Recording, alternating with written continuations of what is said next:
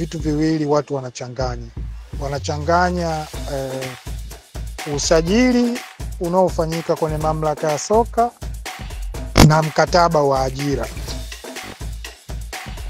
Vilabu vya michezo au vilabu vya soka ni taasisi kama taasisi nyingine. Mtumishi wa klabu ya soka kuanzia tendo kuu la klabu ambao ni kucheza mpira, maana wachezaji, technical bench, wote wana mikataba ya ajira. kutoka hapo kunaenda sahizi, kuna management za kisasa, sijui wahasibu, sijui masio, wote wana mikataba ya ajira. Sa, lakini hawa ambao mkataba wao wa ajira ni kwa ajili ya kucheza ligi mbalimbali, ni lazima wachezaji hao wakasajiliwe kwenye mamlaka husika ya ligi husika ambayo inasimamia mpira. Sasa zamani kulikuwa kuna mfumo wa analojia, hizi kesi za usajili zilikuwa zinakuwa nyingi, kwa sababu mtu anaweza kasajili huku kasajili huku, na mkataba unaenda kutu, nakala inapelekwa TFF labda basi hivyo. Kwa hiyo migogoro ilikuwa inakuwa mingi sana, lakini FIFA wakaleta huo mtindo inaitwa transfer match system, ambayo mkishamaliza kuingia mikataba huko ya wachezaji wenu ndio mnakuja kuingiza kwenye transfer match system, na akishaingiza details za mchezaji mmoja, hauwezi kuingiza mchezaji huyo huyo tena kwa timu nyingine kwa data zile zile.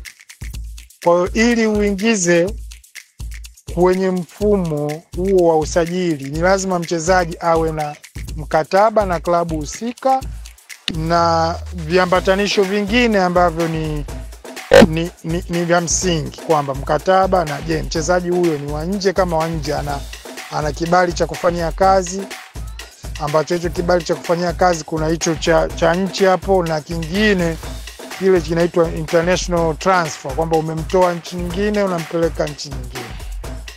Kwa hiyo watu wanachanganya hivi vitu viwili, na ndio maana vilabu vikikiuka mikataba yao na wachezaji hawazuiliwi kuingia mikataba na wachezaji, wanafungiwa kusajili mpaka pale watakapolipa wachezaji, na kama wanachelewa watalipa wachezaji na faini juu. Sijui umeelewa? Kwa hiyo e, na, na, na, na, na, na ufungiaji huu unakuwa una function pale kunapokuwa na dirisha la, la usajili kwamba Juni ile ikifunguliwa dirisha la usajili kubwa na Disemba. Lakini kwa mfano ukimfungia mchezaji e, timu mwezi labda e, Februari kusajili, fine, unakuwa umemfungia sasa.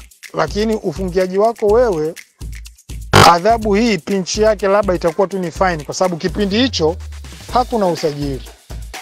Sijui umeelewa, kwa sababu dirisha ya usajili imefungwa Kwa hiyo huyu hii klabu inaweza kuingia mkataba, makubaliano yale ya kimkataba kufanya kazi kuanzia labda msimu ujao na mchezaji mwingine, na huu mkataba utakuwa halali. Sawa, alafu itasubiri. Ikili inalipa, likija dirisha la usajili karibia, wanalipa, wanafunguliwa, wanaenda kumsajili kwenye dirisha la usajili. Ndivyo ilivyo, na hata wasipofungiwa inakuwa hivyo. Timu inaweza, nakupa mfano, timu inaweza ikamsajili ikakubaliana na klabu nyingine transfer ya mchezaji kuanzia msimu ujao wa 2025/26 leo, wakafikia makubaliano na wakasaini hiyo pre contract, yenyewe mnaita.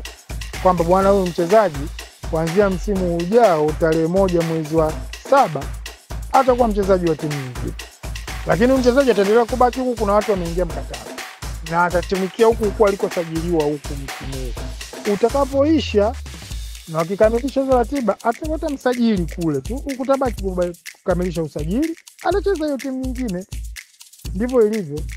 Kwa hiyo na ndio maana hata kwenye mkataba wa mchezaji na timu hakuna sehemu mamlaka ya soka inaingia kama shahidi sijui au third party au nani, isipokuwa mamlaka za soka, kwa kuwa mpira ni mchezo, ni ajira ambayo kidogo ina vitu tofauti na ajira zetu nyingine kama za uandishi wa habari au uhasibu.